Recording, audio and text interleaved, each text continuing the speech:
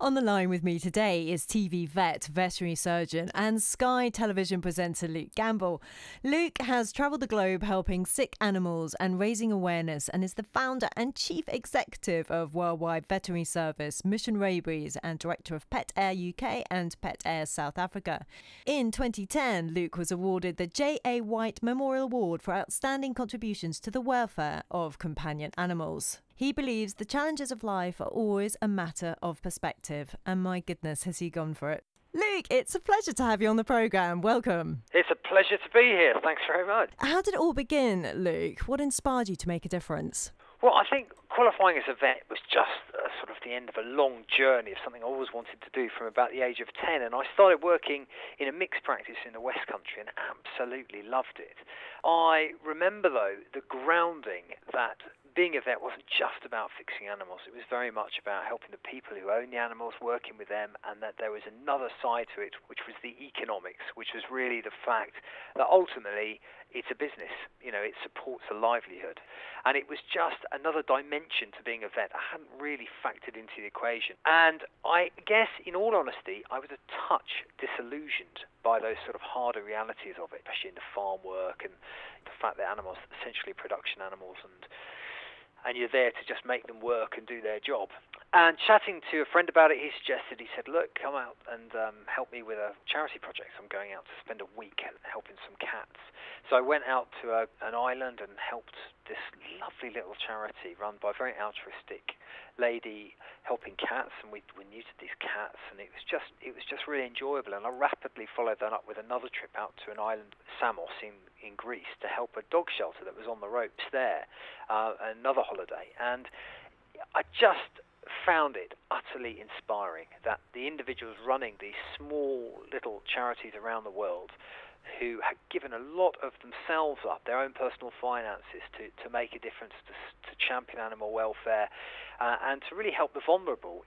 And I thought, for me, it was a venture to get out and see places and explore the world. And and also the fact I could ply my trade without any economic constraint, just being a vet for the sake of being a vet, enjoying it, having fun, meeting new people, and and also that fact that I gained a lot from it. So you went about to sort of found Worldwide Veterinary Service, and recently you've had a very interesting project in Armenia. Tell me about that, rescuing the lions from the world's saddest zoo. Sounds terrible. I know, really sad. The charity's been going now about 12 years. It's become a much bigger entity in what it does. It sends vet teams nurses, drug support equipment out to non-profit organisations, animal charities around the world. And we were doing a big project on the streets of Yerevan to try and stop the dog culling that's going on there by the mayor. And we've sent in a tender to offer a humane population control proposal, strategy to um, sort the dogs out. Whilst the team were over there working very hard, the story broke in the mail about these bears and lions that were the world's saddest zoo, as you said, you know, in these tiny cages, and they're only an hour and a half away. And what had happened essentially was a very rich businessman had abandoned the zoo. He got into debt and trouble. He left the animals he had in his own private zoo to languish and starve to death.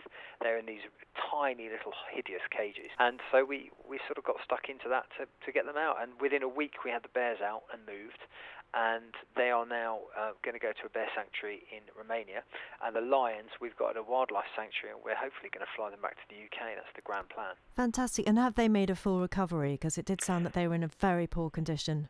Yeah, the mother lion, the lion. So, so the three lions, they're all lionesses, and the, there's a mother and two daughters. And the mother is quite ill; she's got uh, sort of pneumonia, and so we're having to get her treated. She's on some fairly hardcore antibiotics now to pull her around through that. And um, then, of course, the next step is to find a home for them the reality of it is these lions will never get released into the wild because they've never survived. They can cope in that environment. No. And if we can give them a really decent quality of life, then that would be just wonderful. What's the difference in treating domestic and exotic animals? Because obviously you weren't initially trained, I don't think, in, in treating exotic animals. Yeah, I mean, you do, you do a little bit of it, but every animal's different. You've got to learn about their physiology and their metabolism, you know, how they metabolize drugs, you know, but essentially getting an animal out of pain is getting an animal out of pain. Stitching up a wound on dog is very similar to stitching up on anything else, really. You do adapt to it, and it's more the aspects like the anesthesia and the handling that is the really hard bit.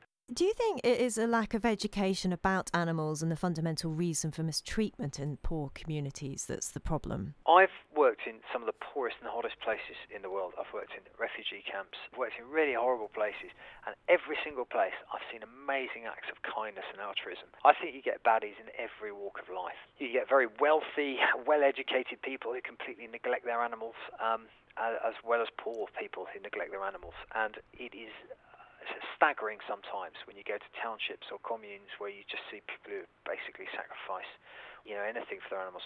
Some yeah, some cases must be heartbreaking. Do you, do you ever get affected by it, or is that something that you learn to, to manage as a vet? I think the moment I don't get affected by putting down an animal is the moment I have to stop being a vet. I mean, I, I do, and I find it harder now, sort of 17 years out, but it's always a last resort. You know, ultimately trying to champion animal welfare, champion animal life, and that's that's really what it's all about. So it's really sad when you can't do that.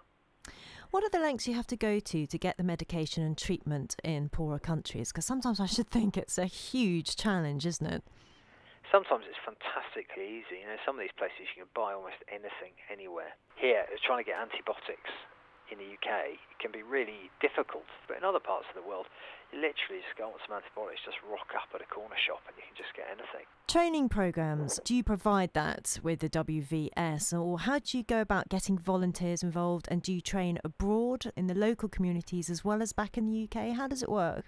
Yeah, we do. We've got two international training centres. So in the last five years, WVS has sent about 370 vet teams, which are volunteers of vets and nurses and non-vets and non non-vet nurses to go off on trips around the world, and we provide regular support to charities, and we've directly helped over about 150,000 animals in these various wow, places we that's work. amazing. Uh, we've got about 700 charities registered with us, and we've sent out about two million pounds worth of veterinary supplies in the last five years.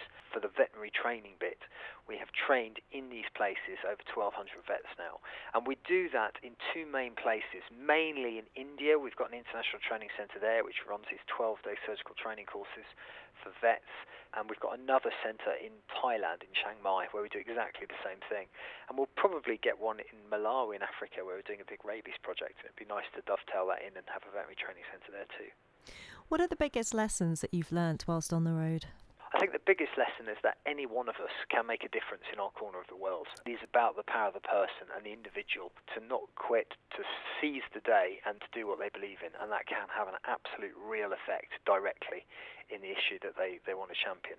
I think that the ability of uh, knowing that that you can do it, you can make that difference, It's been a wonderful lesson, you know, and, and it really empowering, I think, in life. How's it enriched your, your life as a vet doing your Sky program, being a TV presenter? Yeah, I mean that was that was really good fun. It's a while ago now, and it was it was absolutely fantastic. But they phoned up out the blue and came out with me to the IDP camps in Kenya and filmed that off the cuff. Uh, it was a bit too sad to put on TV, but it caught the eye of the execs, and they commissioned a two five-part series. You know, following us around the world, helped the charity lots. Amazing. Uh, empowered me lots. I loved it. It was great to sort of showcase that work and it's enriched my life because I love that challenge. I love being able to be a vet in these places, and selfishly, I love the travel, the adventure, and the capacity and scope to to work with all these different species and, and feel that sense I'm helping them where they wouldn't otherwise be vets or veterinary help. Tell me about uh, Mission Rabies because I hear that you've got to, well, you've inoculated or going to inoculate 50,000 dogs in 30 days. I mean, how do you go about doing that? Yeah, it's, the thing with the rabies, Mission Rabies started out as a project of WVS, and literally I was working in India, and I saw these rabid dogs and put them down, but they'd bitten other dogs in this little village in the middle of nowhere.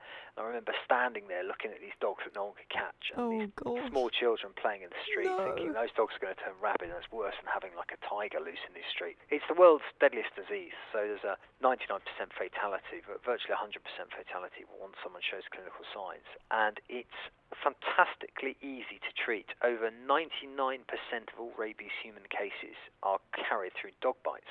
And the way you eliminate disease is through vaccinating dogs. And if you vaccinate 70% of dogs in an area, that herd immunity gets rid of the disease. Every disease is categorized by how infectious it is. So if I have flu or measles, that they would have an R naught of about 15 or 20, which means I'll infect 15 or 20 other people before I either get better or I die. Mm. Rabies has an naught value of about 1.2, which is incredibly low.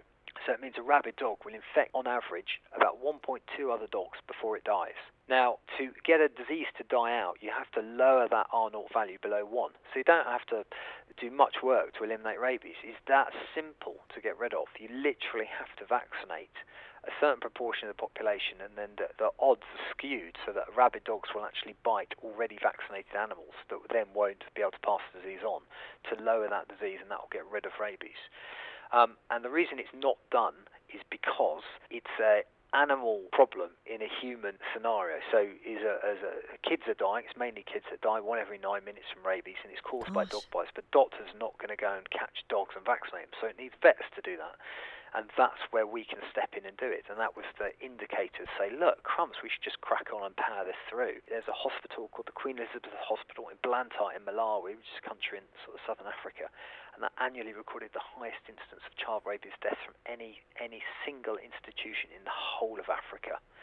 And uh, within 12 months, we got a grant and a team on the ground, and we vaccinated 35,000 dogs in that city in 20 days.